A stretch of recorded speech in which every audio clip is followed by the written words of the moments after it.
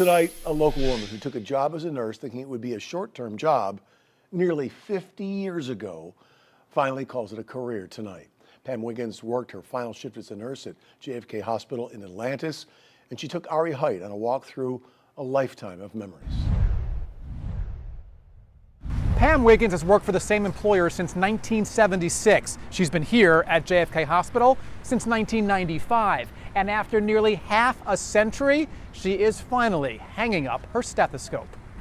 This is my last walkthrough on JFK. Pam Wiggins is saying goodbye.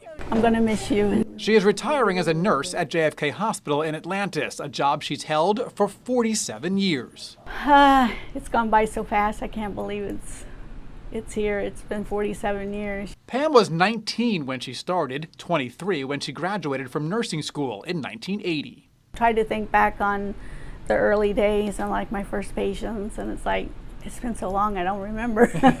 Pam says she has loved being a nurse, though she has not loved every minute of it. She served through the HIV years, but says nothing was more challenging than the pandemic, working in a COVID ward. They look at you like, help me, know, and it's like, it's like, it was really uh, heartbreaking in a lot of cases. Through it all, she says it's the patients she will remember the most, the coworkers she will cherish.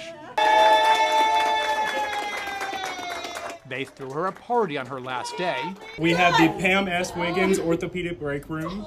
And named the break room after her. Pam recognizes she leaves behind a nursing shortage. She hopes there will be others to take her place, to learn the joy of caring for others. What was the best thing about the 47 years? What's the best thing about being a nurse? Uh, seeing people get better and get out of the hospital and continue their lives. And that is exactly what Pam is now doing herself. One more hug for the retiree. I'm gonna miss you. I'm gonna miss you too. Pam tells me the first thing that she's going to do is travel. She has family in Seattle and Hawaii. After that, she says she's going to figure it out. Right now, she has the time to do that. At JFK Hospital, Ari Hait, WPBF 25 News.